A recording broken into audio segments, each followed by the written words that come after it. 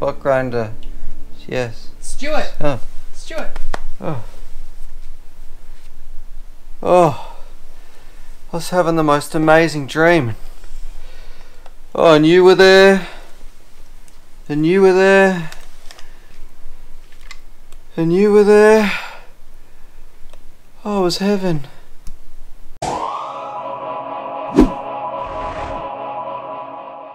G'day, you absolute legend. Stu from UAV Futures here, and today, well, it is time to cut that cord. What we're talking about, you sim pilots out there, don't you hate it when you're cruising around, your sim's feeling good, uh, but suddenly your phone rings, someone's at the door, or your dog's thrown up on the carpet, you jump up, you go to run away and try and sort some stuff out, but uh, your USB is still plugged in, and you basically almost rip the SIM cable out of the computer, causing some damage today.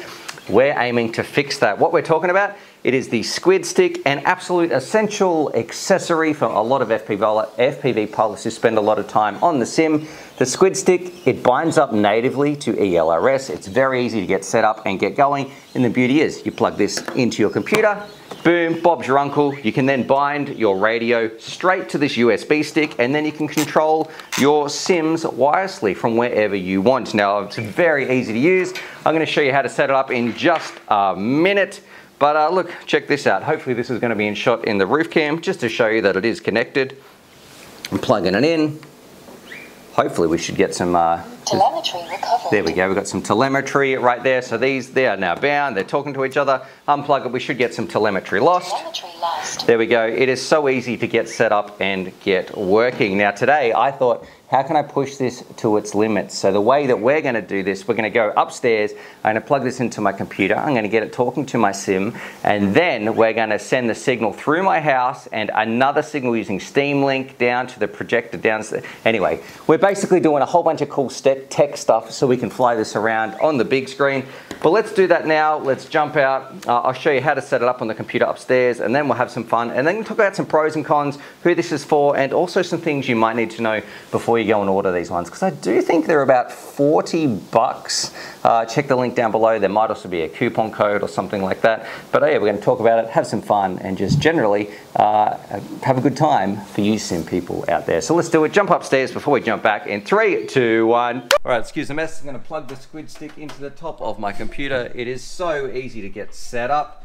Uh, I'm going to open up my Express LRS configurator, and then what you're going to need to do, you're going to need to flash it to the same target as your radio. So for me, uh, you go down here, it's going to be under gen- generic USB targets, and we just go to this one right here 82 85 make sure that your binding phrase is set to whatever your radio is and then you can go down and click flash and then bob's your uncle you are ready and set up to go flying uh, one thing i do want to mention is that we're about to do that right now if you leave your squid stick plugged in uh, it's probably going to enter usb just let me fix up my radio uh, right here. Got my daughter behind me right here talking about the camera. She's uh, itching to have a go on the drone sim. As soon as I came upstairs, she saw this. She said, "Hey, can I have a go?" I said, "Yep, sure. We're going to do that." Um, if it doesn't bind straight away, it might have gone into Wi-Fi mode. So after you flash that, you can simply, oh no, we're, ours is ready to rock and roll. Let's do it. We're going to open up our liftoff right here click play and once we're up and flying uh, I'm going to show you how responsive it is and also we'll hand over to my daughter who's been practicing her simming skills as well. Right here what I do want to show is if we go under controls uh, right here here's where I could figure it in liftoff. If you don't have a sim key not for liftoff but put a comment down below and I'll try and respond to anybody who doesn't have a sim key uh, I'll try and put as many as I can in the comments down below. Just make sure you're quick to check them. Um, but here you can see everything on our radio is corresponding to the way that we want to fly. So let's do it, have some fun, and uh, practice our skills. So uh, I think I did have mine set up that camera angle. Let's change this down a little bit there. That should be a little bit easier. Do you remember how to fly? It's been a little while. I think so. Yeah, this is up. Yeah, Oh, it no, is. This is No, no, up. the other one was up. Yep, that's up. This Let's see if you can go for- forwards. Now you're in acro mode at the moment. See if you can pull back a little, otherwise you're going to hit the ground. Pull back. There you go. See if, oh, oh, oh. I like like. I just like doing loop the loop. Okay, doing a few yaw spins right there. See if you can go towards the. Um, can you do a turn? See if you can find. You're going up too high, Missy. Turn back Hey, now. it's saying turn back. Oh, too late. Yeah. All right. See if you can fly over to the barn. That's what I want you to practice on. So you're going to have to go up, oh, throttle all the way down, and now you're good to go. Up a little on the throttle. The other side. There you go. Fly over to the barn. Tilt forward. Tilt forward. Other one forward. Oh my gosh. Where are you going? Down, down, down. All right. All right. Make sure you don't hit the ground. Don't crash your expensive train. Pull out. Pull out. Pull out. Through the trees. No. Uh, All right, thank you very much. Here, let's give give me a little little go so you can see uh, everything you need to do. Let's pitch forward just a little bit, and I've set up a couple of different buttons to change the camera angles, all that sort of stuff. Uh, it's just a lot of fun, a great little way to use your radio but wirelessly on your Sims. All right, are you going to keep practicing for a Yeah, while? I'm gonna go down into the water, Okay, that doesn't sound good for drones. and I'm gonna wait until I get across it. Okay, and then what's going to happen? Down. Hey! Rightio, so there it is. There was my little setup guide on the squid stick. A couple of different colors, very cool. I love how easy it is. I do like the LED lights on there just to let me know, hey, it's actually working. It's very easy to visually look over.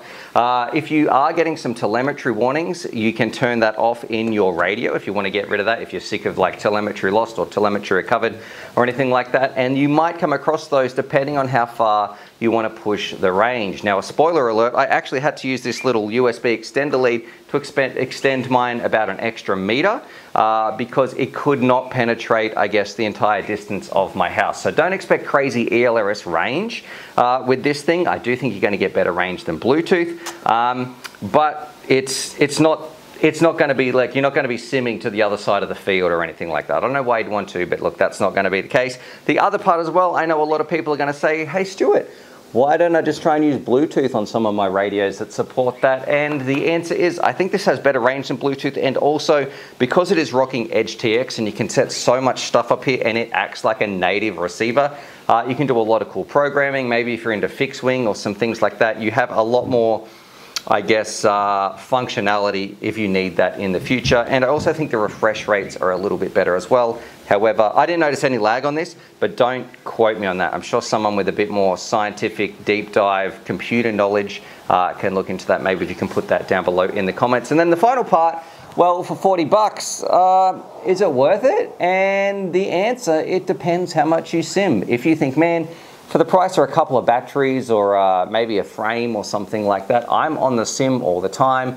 This thing, it looks cool, it's easy to get set up and get using. Uh, it's definitely a worthwhile investment. Or maybe you're somebody who really hasn't done much simming, you prefer to do some whooping or something like that. Well, I'd say if it doesn't bother you using the USB cord, use what you've got. There's, there's no problem when doing that. Look, and I'm sure these guys would prefer that you bought something from their store and go check out the squid stick, but I want to make it very clear. If you're happy simming around with a USB cable, go for it. The important part is you're all having fun, you're all learning new skills and pushing the boundaries of FPV, and that's what we're all about on UAV Futures. But if you do think that this thing looks like something you'd want, the link is going to be down below. Uh, it's got a couple of different colors. I really like it. We've got Brain 3D as well there. It helps them design some things, and I say thumbs up. I really like it. I don't know uh, I'm going to have to check here, and I'm sorry because I've been playing around with my squid stick for a little while. That almost sounds inappropriate. But if you've watched this far, uh, maybe over on my Patreon, if I have a second one, I believe I've got a black one around here somewhere. Uh, I'm going to see if I can send that out to you guys over on Patreon. So I don't know. If I find that, check check over there. That should be coming out soon as well. Than that, subscribe for more FPV related, relate, re, having a stroke, related content. Uh, most importantly, be kind to yourself because you deserve it. I'm really glad you're here. You guys are special. Thank you so much. And as always, happy flying. Whew. All right, let's go back to the sim.